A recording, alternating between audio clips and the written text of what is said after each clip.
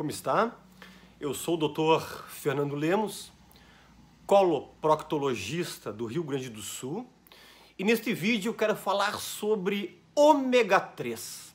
Que cuidados você tem que ter ao comprá-lo?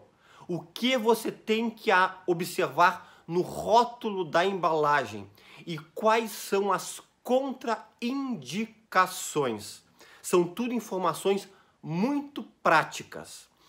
Eu gostaria de convidar você, que já nos segue aqui no YouTube, nos seguir também no Instagram. Lá no Instagram eu consigo publicar coisas do dia a dia, consigo responder mais facilmente as perguntas, coloco também algumas publicações por escrito. Se você quiser seguir no Instagram, é dr de Fernando Lemos. dr, Fernando Lemos. E se você quiser seguir também nós no Facebook, é através da página Planeta intestino. Estão todos convidados. Vamos lá. Vamos falar sobre ômega 3, mas vamos levar para um lado um pouquinho diferente.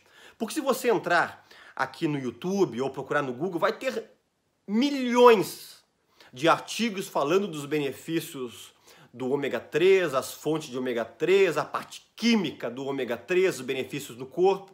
Eu quero falar um pouquinho diferente aqui.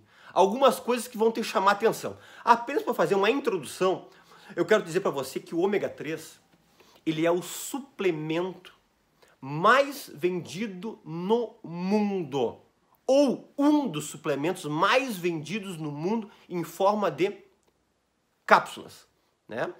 E você, de início, você pode dizer, você vai falar mal do ômega 3? Em hipótese alguma. É um excelente suplemento. Eu utilizo há muitos anos o ômega 3. O ômega 3, na verdade, ele é uma gordura poli insaturada. E nós sabemos que as gorduras que são poliinsaturadas não são maléficas e bem pelo contrário, são muito benéficas e os nossos órgãos, nossa estrutura celular necessita desse tipo de gordura. E além de tudo é uma gordura essencial. O que quer dizer gordura essencial? Gordura essencial é aquela gordura que o nosso corpo não produz. Para nós podermos termos os benefícios dela, a gente tem que ingerir ou através de uma fonte alimentar ou através de um suplemento através de cápsulas, né? Qual as fontes alimentares que tem ômega 3? Mas eu já te adianto, você deveria comer uma grande quantidade por dia para você conseguir os benefícios na dose correta, que logo mais ao longo do vídeo eu vou te explicar qual a dose correta e como você tem que ver para poder estar tá tomando a dose correta. Quais fontes? Vamos lá. Salmão, atum, crio e mexilhão. Ou seja, são ah, animais, são peixes que vivem em águas profundas e frias do oceano. Não é em tudo que é lugar que você encontra estes peixes com a quantidade perfeita de ômega 3 e com a qualidade que o teu corpo exige. Olha o que eu vou dizer para você. A imensa maioria. Vamos pegar o exemplo um salmão desses, desses exemplos que eu citei aqui, um salmão, que você vai comprar no mercado ou vai num restaurante e come no restaurante, a maioria é criado em cativeiro. Eu sei muitos locais do Brasil que tem cativeiro de salmão. Não são criados em profundidade e nem em águas frias do oceano. O gosto vai ser muito parecido, mas os benefícios do ômega 3 infelizmente não serão encontrados ok? O ômega 3, só para dar uma pincelada, não quero falar sobre isso aqui, porque quase tá, tá, todo mundo meio careca de saber já sobre isso aqui.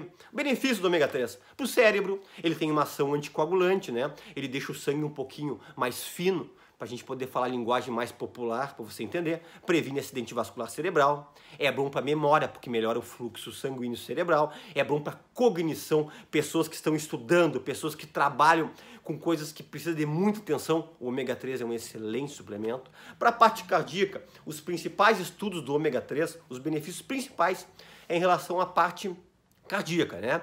Ele previne infarto, ele melhora o HDL, que é o colesterol bom, que nós sabemos que o HDL quanto mais alto, mais proteção cardíaca você terá. Ele baixa o, o LDL, que é o colesterol ruim, responsável por entupir as artérias coronárias e causar angina, causar um infarto. E o ômega 3 também lhe reforça a parede das coronárias, deixando elas mais uh, firmezinhas, vamos dizer assim, com a elasticidade correta para evitar o estreitamento dela.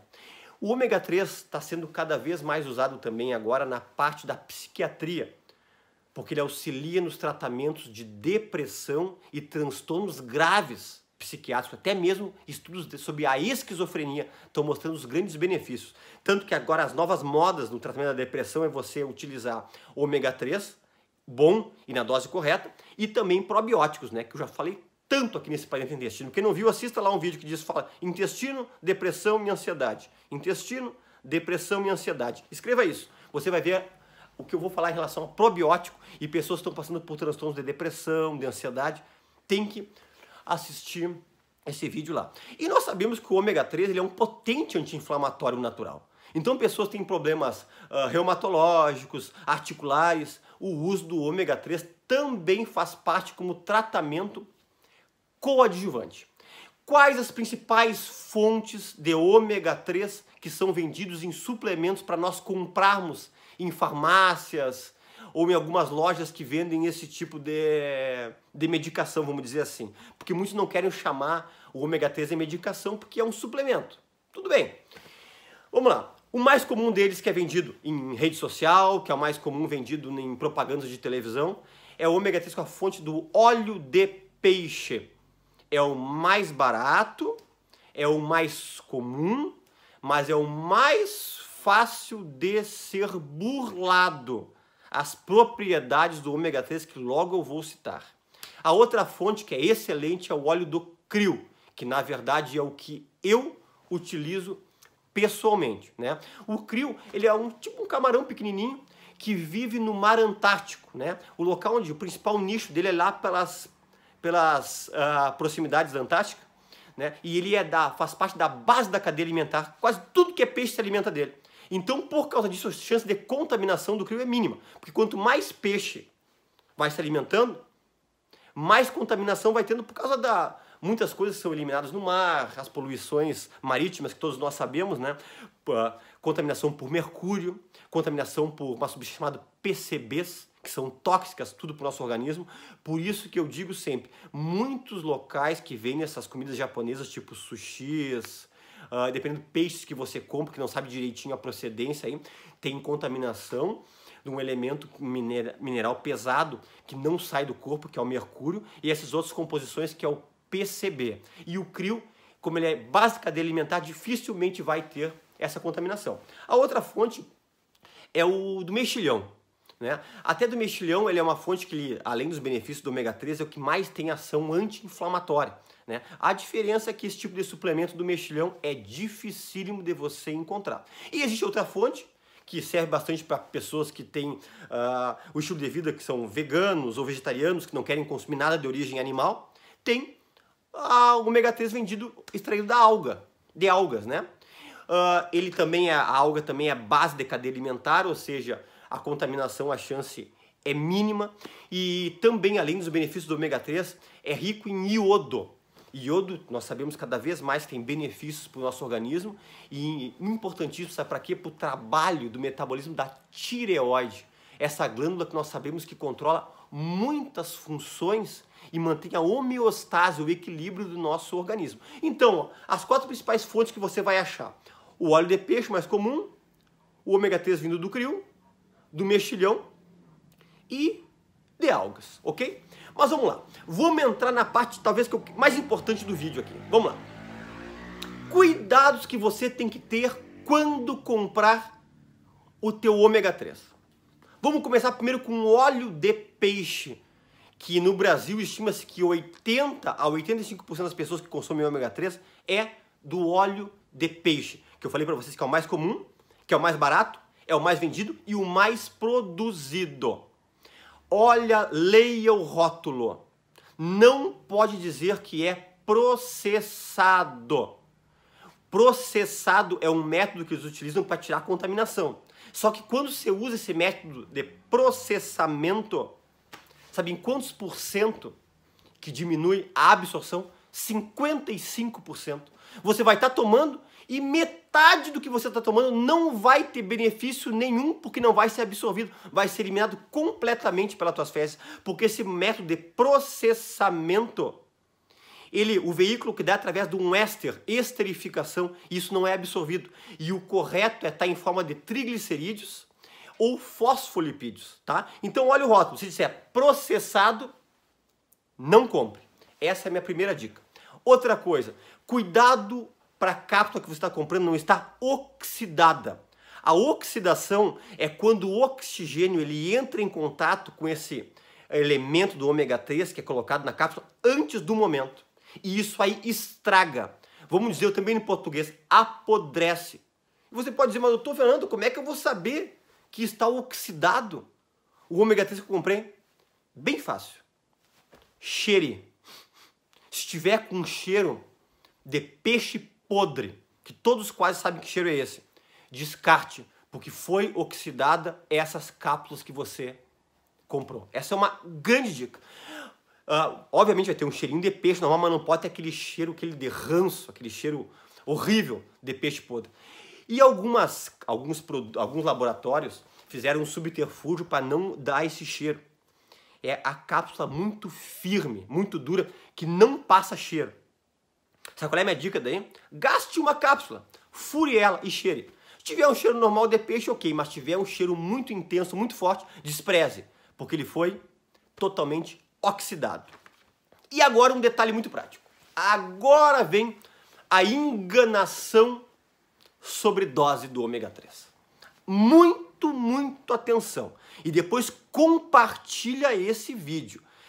Passa para os teus amigos, para teus familiares, vamos ajudar muita gente que está gastando dinheiro com um produto de péssima qualidade. Vamos lá. Sempre que você comprar um ômega 3, você tem que ver qual é a dose correta que tem do ômega 3. E muitas vezes na frente da embalagem, o que diz ali não é a realidade. Eu tenho visto esses, essas, essas últimas semanas, alguns pacientes me levaram no consultório, diz assim, ó, ômega 3, mil miligramas, ou uma grama, mil miligramas. Só que é mil miligramas de toda a cápsula. Não é mil miligramas de ômega 3. Veja atrás e você sempre tem que olhar e somar ali duas coisinhas. Onde diz EPA, que é o EPA, ou o DHA. EPA, tá? que é o ácido eicosaminopentóico, ou o DHA, que é o ácido doca hexanoico, na verdade, a soma, a soma do DHA e do EPA é o que, na verdade, vai dizer qual é a concentração correta de ômega 3. Por exemplo, nesse que o paciente me levou, que dizia mil miligramas, ele pensava que estava tomando um grama de ômega 3 por dia. E, na verdade, nós somamos até, sabe o que, que tinha? De EPA tinha 270 e de DHA tinha 100. 270 mais 100, 370. Longe de um grama. E outra coisa que você tem que observar ali, que eu também vi numa dessas, dizia uma dose embaixo ali, uh, no rótulo, que dizia DHA 600, EPA 600, 1200, que maravilha! Mas em cima dizia assim, porção de três cápsulas, ou seja, só ia ter esses 1.200 se você tomasse três cápsulas. Resumindo para facilitar, vira o rótulo e soma o que tem de DHA e de EPA. Soma para ver que dose correta que é de ômega 3. E sempre ver depois, em relação a isso aqui, se é a quantidade de proporção de uma cápsula, de duas ou de três cápsulas. Observe isso aí. Qual a dose correta de ômega 3? Eu sei que tem muita gente querendo saber isso aqui. Ideal. 1.200 miligramas dia. Se você está tomando 1.200 miligramas dia, está ótimo. Você tem que somar esse DHA, esse EPA e tem que dar 1.200 miligramas. Tomando isso aí é uma dose boa. Ah, mas eu quero uma dose ótima, doutor Fernando Lemos. 2 gramas dia. Ou 2 mil miligramas por dia. E se você for cardiopata, tiver problema cardíaco, ou problema reumatológico, problema de inflamação, dá para você chegar até 5 gramas dia. Eu utilizo 2 gramas por dia, que é uma dose que eu considero uma dose ótima. Mas se você estiver tomando 1.200 miligramas, já terá benefícios. Menos que isso, não tem benefício quase nenhum você está tomando o teu ômega 3, porque na verdade é uma subdose. Quem não pode fazer uso de ômega 3? Porque eu já vi pessoas falando e até mesmo escrevendo artigos que não tem contraindicação nenhuma, que é um suplemento maravilhoso que você pode usar todo mundo. Não é bem assim. O ômega 3 ele mexe na coagulação sanguínea, né? Ele deixa o sanguezinho mais fluido, mais fininho. Então, pessoas que têm problema de coagulação, tipo pacientes que têm púrpura trombocitopênica idiopática, que é uma doença hematológica, ou pacientes que têm plaquetas muito baixas, que não descobriu ainda a causa, ou têm os seus tempos de protrombina baixíssimos, eu não sugiro você usar, porque você vai acabar se machucando, se cortando, e vai sangrar demais e poder ter até uma hemorragia ok? Outro detalhe, pessoas que usam anticoagulantes. A recém eu falei que ele deixa o sangue mais fluido. Se você tomar junto, a chance de ter algum sangramento, às vezes uma hemorragia digestiva baixa, pelas fezes, ou alta, ou até sangramento por outros fontes, até mesmo pela parte da bexiga urina, cuidado. Por exemplo, qual é anticoagulante? Vamos citar alguns nomes até comerciais aqui, nós não temos vínculo com laboratório nenhum aqui. Xarelto, Pradaxa, Clopidogrel, Marcomar, Varfarin, tudo isso são anticoagulantes potentes. Se você vai potencializar o efeito dele com ômega 3, cuidado, ó, abra o olho que pode ter um sangramento muito grande. Outro detalhe, pessoas que vão fazer cirurgia. Isso aqui eu, eu como cirurgião, eu sempre pergunto para meus pacientes, se você usa ômega 3, eu pergunto, você usa anticoagulante? O ômega 3 você tem que parar de 7 a 10 dias antes da tua cirurgia para evitar sangramento durante o transoperatório, durante o ato cirúrgico, ok? Eu já tive experiências com pacientes que tomavam ômega 3 que não pararam e teve um sangramento um pouco maior do que o esperado. Não é tão gigante como o sangramento do anticoagulante, mas ele aumenta o sangramento. Pode sangrar durante e até após o ato cirúrgico. E outra contraindicação que eu vou dizer para você, nunca tome o ômega 3 em jejum e nem à noite. Em jejum não, porque ele pode facilitar refluxo. E a pessoa diz aqui é que fica eructando, ou o termo mais popular, arrotando, como se fosse um, um gosto de peixe durante todo o dia. E evite à noite, porque em mais de 60% dos pacientes, o uso do ômega 3 à noite dá insônia. O uso correto é após café da manhã ou após almoço. Se você tiver que tomar duas ou três cápsulas por dia, para poder somar os 1.200 miligramas ou os 3 gramas dia, tu pode tomar todo junto após o almoço, ou tu pode fracionar, tomar uma cápsula depois do café, duas depois do almoço, ou uma depois do café, uma depois do almoço, aí você pode escolher, ok? Quem não é inscrito aqui no nosso canal do YouTube, clique em inscrever-se, é totalmente gratuito. Compartilhe esse vídeo. E eu tô lembro de novo, quem não é nosso seguidor do Instagram, que nós temos coisas novas lá, é dr. Fernando Lemos, Fernando Lemos. E no Facebook é onde diz Planeta Intestino. Ok? E até um próximo vídeo.